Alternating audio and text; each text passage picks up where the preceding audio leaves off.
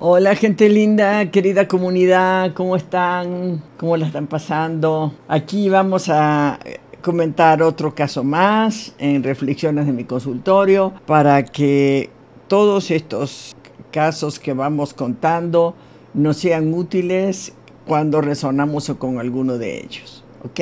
Empezamos. Esta mujer se llama Rosa. Tenía en aquel entonces, cuando empezamos a trabajar, 33 años. Tenía una pareja también de una edad muy parecida, pero la manera de ser de ella era ser sobreprotectora controladora, eh, muy decidida cómo se debían hacer las cosas, eh, muy impositiva porque, porque era muy, eh, muy perfeccionista, entonces tenía la casa perfecta y tenía todo perfecto. Y ella además era muy exitosa, tenía un excelente puesto, un excelente salario. Su pareja no tanto, ¿verdad? Sí, sí, también era independiente, pero, pero un poco se sometía a ella, ¿no? Hablaron, hablaron de, del, del asunto del dinero, del asunto del desorden, de, de que su pareja lloraba mucho, lloraba por, por casi todo, y entonces Rosa pues se desesperaba un poco, ¿no? Empezamos a trabajar y a poner herramientas que ustedes conocen, ¿verdad? Esto que decimos de, de usar el sí a veces para ablandar las rigideces y ser un poco más flexible. Hablamos de la llave del cielo, hablamos de los tiempos fuera responsables para ir manejando la relación de una manera más tranquila, más armónica, que las dos pudiesen encontrar un, un lugar grato ¿no? para ellas. Y bueno, sí, sí, sí mejoraban las cosas, pero como, como que nunca del todo. Un tiempito mejoraban y después otra vez se volvían a hacer las cosas un poco rígidas y bueno, entonces tenían que volver a, a conversar los acuerdos y tenían que volver a saber qué estaba pasando, cuál era el 50% de cada una, cómo lograban estar sistemáticamente incómodas, ¿no? Esto, esto fue, fue un, un lindo proceso de crecimiento y, y, de ir armonizándose entre las dos. Hubo que hablar de sexualidad, hubo que hablar de, de las diferencias en las frecuencias, hubo que hablar de, de cómo desarrollar la independencia sexual para luego poder compartirse. Y bueno, así fueron, fue pasando el tiempo un, un poco, ¿no? Cuando empezamos a tocar los temas sexuales, se empezó a abrir alguna incomodidad de Rosa que no entendía bien qué, qué podía hacer. Empezamos a trabajar un protocolo sobre sexualidad eh, profundo y en algún momento ella se da cuenta que su padre, o sea, se da cuenta en el sentido que recuerda, o sea, tiene la imagen y la emoción de que cuando era chica su padre había abusado de ella. Lo trabajamos porque ella era una mujer pues muy segura de sí misma, ¿verdad?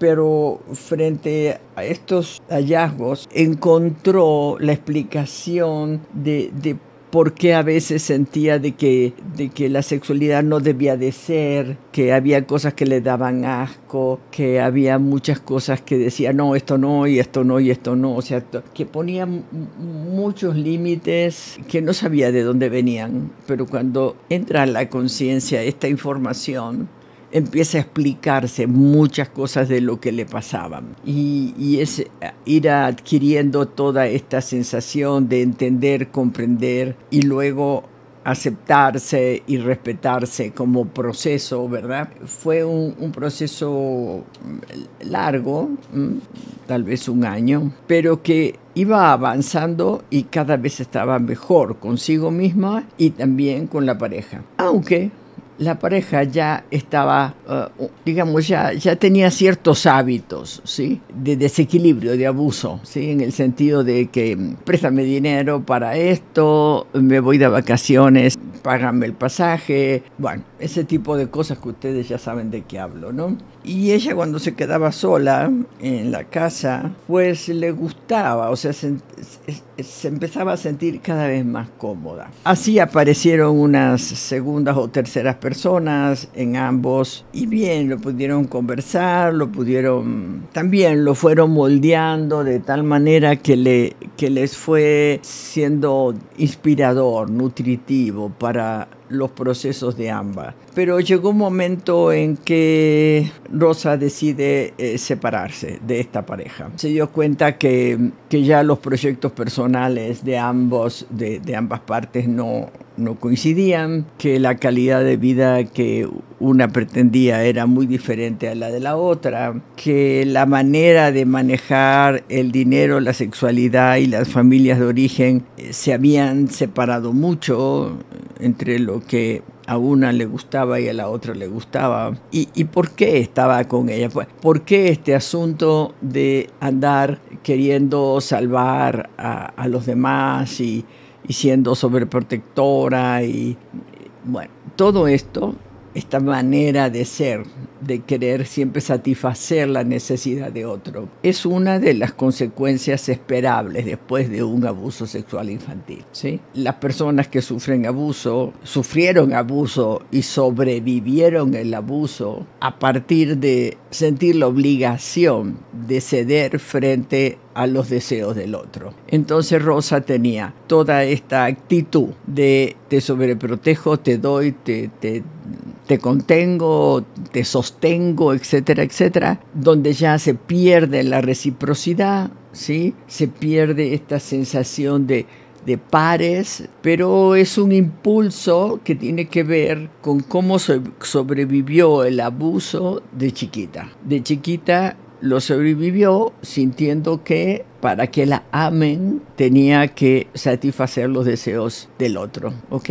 Entonces estaban estas dos cosas en su comportamiento como una manera de hacer equilibrio entre sus partes, ¿verdad? La parte esta de servir al otro en sus deseos y a su vez este, estos miedos, estas rigideces, esta necesidad de ser rescatada por alguien y nunca llegaba porque su pareja nunca la rescataba, entonces se tenía que rescatar a sí misma. Ok, cada vez fue acordándose de más detalles del abuso del padre y en algún momento ella, siguiendo el protocolo de todas las personas que sufren abuso, ella denuncia la conducta del padre con una hermana. Tuvo un poco de miedo, pero después lo vuelve a, mm, abrir con su hermano. Y resulta que su hermano también había sufrido un abuso sexual infantil. En ese momento se lo dijo también a su, a su madre, pero su hermana, su madre como que no escuchó, como que no se terminó de enterar, como que en su cerebro no entró la información.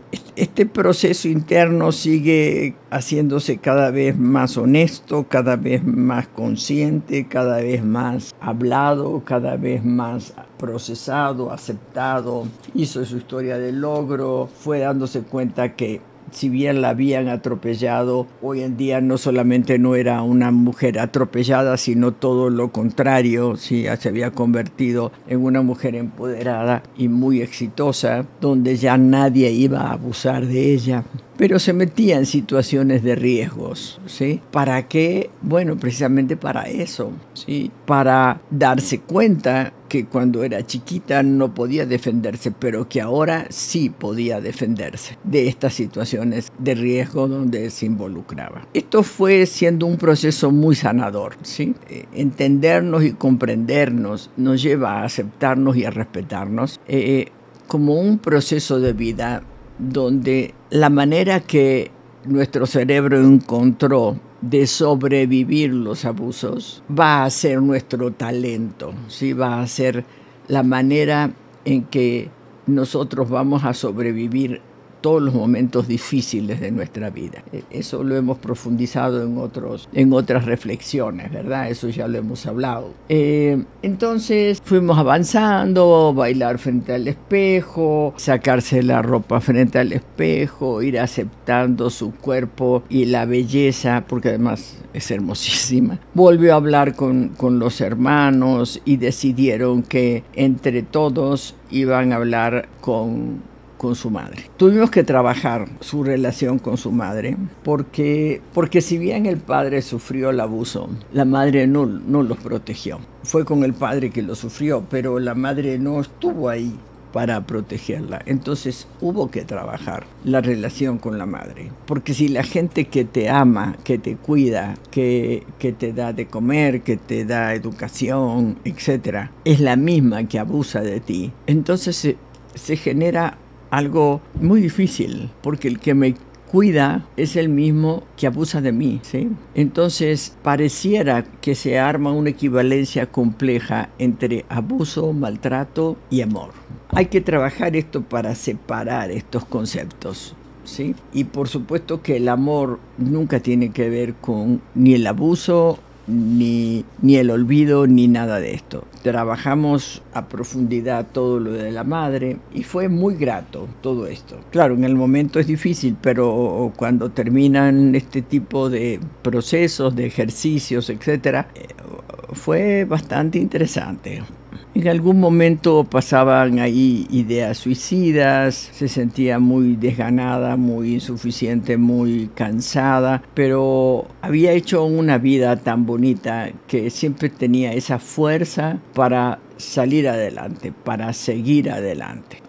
Hay una, mm, hay un, proceso, digamos, de bienestar y malestar, es, es, eh, cíclico, ¿verdad? Pero, pero siempre ella fue encontrando cómo desarrollar más herramientas y más habilidades para ir saliendo siempre adelante de todos estos procesos tan dificultoso. Un día volvió a recordar cómo el, el padre, ella se estaba bañando y el padre se metió en, en la ducha con ella y abusó de ella. A medida que iba avanzando el proceso, todos los detalles de lo que había sido aquellos eventos que habían sido de alguna manera anestesiados desde el hipocampo, desde el centro de la memoria del cerebro, a medida que ella iba trabajando sobre las memorias emocionales. Estas memorias emocionales se iban, iban despertando las memorias de los eventos. Recuerden que las memorias emocionales se graban en la amígdala y las memorias de los eventos se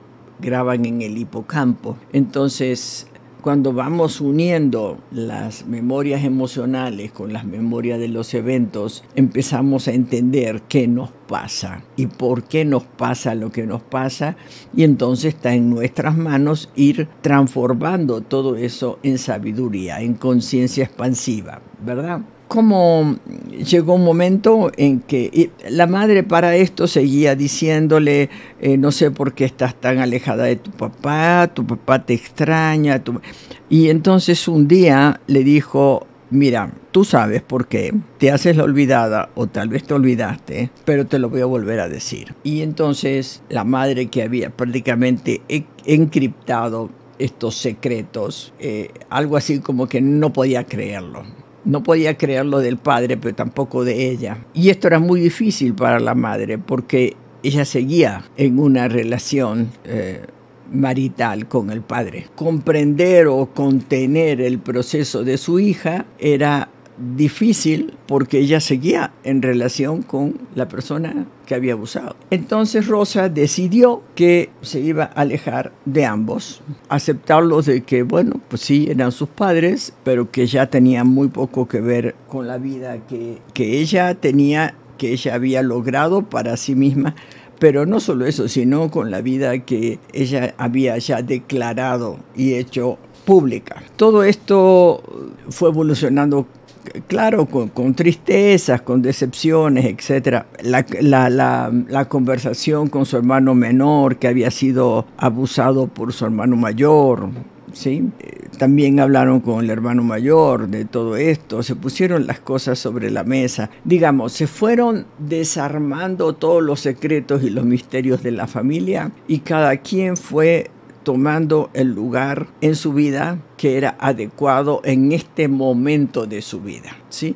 Hemos dicho muchas veces que los afectos, especialmente cuando son parientes cercanos, no desaparecen de nuestra vida, sino que dejan de estar cercanos. ¿sí? O sea, en vez de estar totalmente aquí al lado mío, los que saben de lo que hablo, acuérdense del ejercicio de la piedra en el agua. Y, y bueno, y otros van a estar o más lejos, o más lejos, o más lejos, o más lejos de mí, dependiendo de en qué distancia tú sigues siendo inspirador o nutritivo para mí, ¿sí? Y bueno, y hay personas que son muy poco nutritivas y muy poco inspiradoras y entonces las pongo a una distancia de mí donde para mí sea saludable y armónico con mi proceso de evolución. Decirles que Rosa hoy en día es una mujer maravillosa, está en una nueva relación, una relación muy armónica con ella,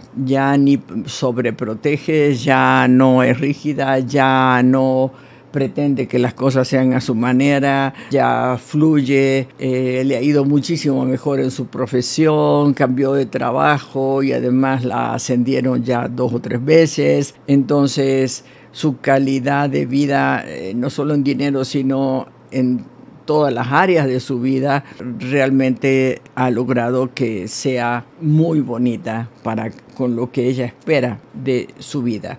Y está totalmente consciente de que ella va a educar a su amígdala por repetición para tener exacta la vida, exactamente la vida que ella elige para sí misma. Este es un caso maravilloso de éxito y me encantó compartírselo. Abrazos y hasta la próxima.